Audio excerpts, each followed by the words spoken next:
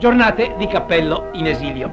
Le sue porte sono quelle della giardinetta. Accompagnerà a scuola la bambina.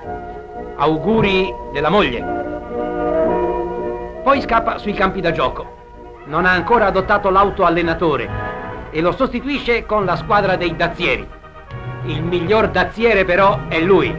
Sequestra il pallone come se fosse un articolo di contrabbando. Ma queste sono prepotenze di buon auspicio per il suo ritorno. Cappello non ama troppo i rigori della federazione, ma quando si tratta di questi ci sta. Gol! Poi vola in soccorso del portiere caso mai fosse un arbitro travestito.